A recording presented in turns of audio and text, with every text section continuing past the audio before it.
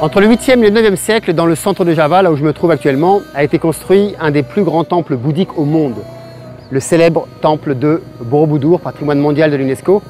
C'est l'une des sept merveilles du monde et qui est préservée et protégée par le gouvernement indonésien. Nous n'avons pas eu l'autorisation de euh, filmer à l'intérieur du temple, on a juste eu l'autorisation de prendre quelques, quelques shoots vidéo, mais je n'ai pas eu l'autorisation de parler devant le temple, donc c'est pour ça que je me pose ici. Alors Borobudur a été construit sur trois niveaux qui s'accordent en fait à la conception de l'univers dans la cosmologie bouddhiste.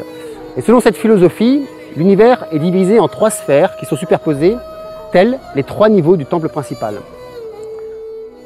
La première sphère, qui est appelée Kamadatu et qui est la base du temple, représente la sphère des désirs.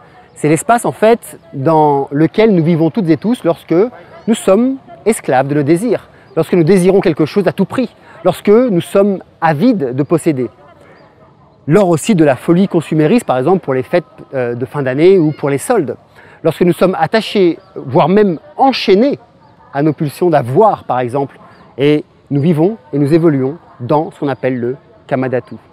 Puis, il y a la seconde sphère, qui est nommée Rupadatu, et qui est représentée en fait par les cinq terrasses carrées du temple de Borobudur. Cette sphère, en fait, c'est la sphère où nous avons réussi à abandonner nos désirs, mais nous restons cependant encore vraiment fortement liés au nom et aussi à la forme. Il faut comprendre que le monde dans lequel nous évoluons est ce que nous appelons le monde des formes. Tout autour de nous est bien structuré. Tout a une définition propre. Tout ce que nous voyons est en fait délimité. Ce monde des formes, par sa structure, en fait, a tendance à nous happer. Il nous offre une sorte de euh, stabilité qui n'est en fait qu'une autre illusion. Nous portons attention énormément aux noms. Nous portons attention aux définitions, que ce soit les nôtres ou tout ce qui est autour de nous. Et si vous voulez, dans la sphère de Rupadatu, notre âme est un petit peu plus légère, notre esprit est plus éveillé. Cependant, nous sommes toujours attachés à la forme et à la structure. Le désir, c'est vrai, est moins présent et nous avons un meilleur contrôle sur lui. Puis, la troisième sphère qui s'appelle Arupadatu, qui est représentée par les trois plateformes circulaires et le grand stupa, un monument tout en haut en fait du temple, c'est la sphère du détachement des formes. Et dans cet espace, il n'y a ni désir, ni nom, ni forme. C'est dans cet espace où nous expérimentons le détachement total. Notre esprit alors est libéré de tout attachement et nous pouvons alors faire l'expérience de l'absolu. Ceux et celles qui pratiquent la méditation de manière rigoureuse ont sûrement déjà expérimenté cet euh, espace aussi appelé le samadhi. C'est un espace où la structure du soi, c'est-à-dire l'image que vous avez de vous, vos souvenirs, les êtres qui vous entourent, la famille, vos enfants, vos amis, vos partenaires, etc., n'ont plus de présence ni de poids dans ce moment précis. Vous êtes alors en union parfaite avec ce qui est, comme disait Ajahn Chah.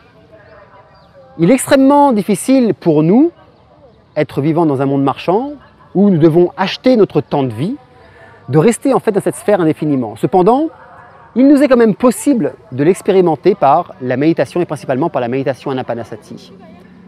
Cependant, pour beaucoup d'êtres déjà qui sont engagés en fait sur la voie de l'éveil et de l'initiation spirituelle, vivre dans la sphère de Rupa Dhatu est tout à fait possible. Dans cet espace, il est alors possible de libérer l'esprit en étant plus esclave en fait des désirs, des désirs futiles en fait, et qui ne nourrissent pas notre âme, sans pour autant vivre en reclus. Alors avant toute chose, c'est un état d'esprit de vie au quotidien qui permet en fait d'osciller d'une sphère à une autre. C'est donc à chacun d'entre nous de décider où nous désirons nous placer. Ce temple, au-delà de sa structure, on va dire, phénoménale, au-delà de ses sculptures dans la roche extraordinaire, au-delà de la taille des pierres qui le composent et avant tout la définition initiatique de la marche vers l'éveil pour atteindre le nirvana dans la philosophie bouddhiste. Cette marche, en fait, qui décrit les phases du parcours conduisant au nirvana, est aussi définie par trois monuments autour de Robudur. Le stupa principal avec ses trois niveaux et ses 72 stupas, avec la représentation de Bouddha dans chacune d'entre elles.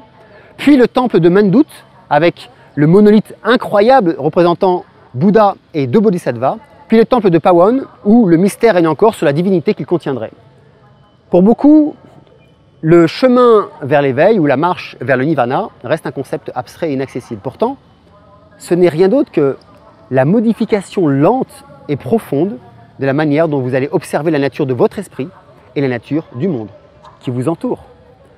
Plus vous lèverez en fait le voile sur les illusions qui se présentent devant vos yeux, plus vous montrez les marches du temple de Borobudur. Ce que nous enseigne Borobudur, c'est avant toute chose cette marche initiatique que chacun d'entre nous peut arpenter quand bon lui semble pour sortir en fait de l'enchaînement infernal des naissances et des morts. C'est ce chemin qui consiste pas à pas à se libérer du poids de ses désirs, de ses émotions, de ses constructions mentales pour pouvoir atteindre la paix de l'esprit. À ce sujet, la paix n'est pas un moment de repos et la paix n'est pas un sursis entre deux guerres. La paix, c'est la paix. Point final. Borobudur, par son chef-d'œuvre en fait architectural, nous invite tout simplement à considérer notre vie comme un art et la vie comme un chef-d'œuvre. Considérer notre existence à son plus haut niveau, vivre pour son éveil personnel afin de libérer avec soi le plus d'êtres autour de nous qui vivent encore dans cette souffrance. Souffrance d'ailleurs qui est générée uniquement par des créations mentales, souvent mal interprétées ou alors incomprises. Si nous regardons Borobudur vu du ciel, il représente un mandala de pierre géant. Le parcours pour atteindre le stupa du haut est normalement un parcours initiatique qui se fait dans le sens des aiguilles d'une montre en récitant des mantras.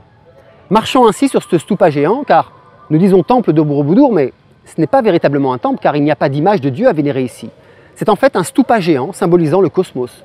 Donc, marchant sur ce stupa géant, l'initié est alors en, en méditation, intégrant en lui, durant son périple, les différentes étapes du détachement qu'il va devoir effectuer en lui tout au long de sa vie pour se libérer. Ici, il est nécessaire de prendre son temps pour aller au sommet. Cette montée, en fait, par étapes et silencieuse, méditative, favorise l'élévation spirituelle pour toute personne en quête d'absolu. Ce message est très fort, en fait, de nos jours où la plupart des êtres pensent qu'en méditant 10 minutes par jour, ils comprendront en fait la nature de leur esprit. Il faut être patient et arpenter avec douceur en fait ce chemin. C'est d'ailleurs pour ça que le parcours initiatique que j'offre et que je propose à Émergence Spirituelle, euh, qui euh, dure pas moins de 3 ans, à l'image en fait des retraites bouddhistes de 3 ans, 3 mois et 3 jours. Donc, au total, durant sa marche sur la stupa, l'initié pourra alors voir les 2670 bas-reliefs, dont 1460 qui représentent la vie à Java au 9e siècle et 1210 qui sont en fait tout simplement décoratifs. Au sommet, il découvrira 72 stupas en forme de cloche qui abritent toute une statue de Bouddha. Borobudur témoigne aussi le sacré qui existait dans le cœur des êtres dans les époques très lointaines de la nôtre. Le sacré qui fait malheureusement défaut de plus en plus de nos jours. Il reste cependant ce que j'appelle des, gangsters spirituels qui continuent à essayer de planter des graines dans le cœur et dans l'esprit des êtres de notre époque et de souffler à leur âme le sens de la vie, qui n'est rien d'autre qu'une marche vers l'éveil et vers l'amour universel. L'éveil qui passera en fait par des actions altruistes, au renoncement de soi et au détachement du monde des formes et, de ses attirances. Cette quête en fait s'effectue, il faut le savoir, durant plusieurs incarnations et pour beaucoup déjà a commencé il y a plusieurs vies. Ce n'est pas une voie toute tracée non plus, mais juste un parcours méditatif qui est aussi un parcours d'introspection et de libération de l'esprit. Alors, Borobudur, qui est un dérivé du sanskrit Vihara Buddha Ur et qui signifie le monastère bouddhiste sur la colline. Il n'y a rien d'autre en fait que ce stupa que nous avons toutes et tous en nous et qui abrite le divin et l'absolu en nous. Et c'est à chacun d'entre nous de décider ce qu'il veut faire du temps qui lui est imparti dans cette vie pour soit rester dans la sphère de Kamadatu, en étant prisonnier esclave de ses désirs à tout jamais, soit libérer son âme et cheminer vers Arupadatu pour atteindre l'éveil pour le bien de tous les êtres.